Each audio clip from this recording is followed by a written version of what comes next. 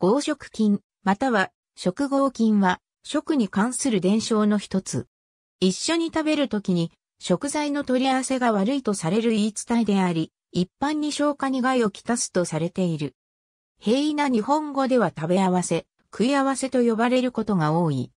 日本で伝えられている合食菌は、元は中国から伝えられた本草学における薬物相互観察用の研究に、加えて陰陽古行思想を食材に当てはめたものとされる。このため、科学的根拠のないものもあるが、中には医学的に正しいとされるものも存在している。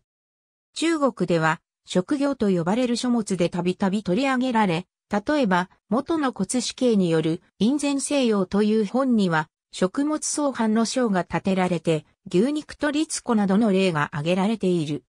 日本では、養老律令の食生率に、天皇に出す食事に合食金を犯した場合には、内前種の責任者である天前は、と3年の刑に処されるとある。また、南北朝時代に、洞院公賢が表したとされる、拾芥抄や江戸時代初期に、貝原益軒が表した、養生訓には、多くの食品が記されている。ただし、これらの書籍には、うなぎと梅干し、天ぷらとスイカ、蕎麦とタニシなどのような今日知られる代表的な例は記されていない。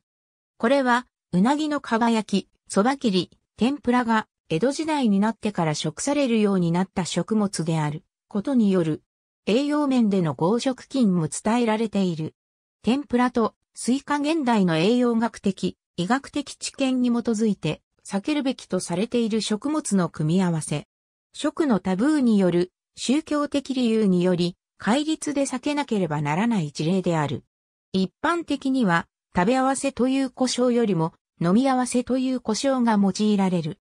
特定の薬剤と食品中の成分が体内で相互作用を起こし、薬効、または副作用が極端に強まったり、減衰したりする。ありがとうございます。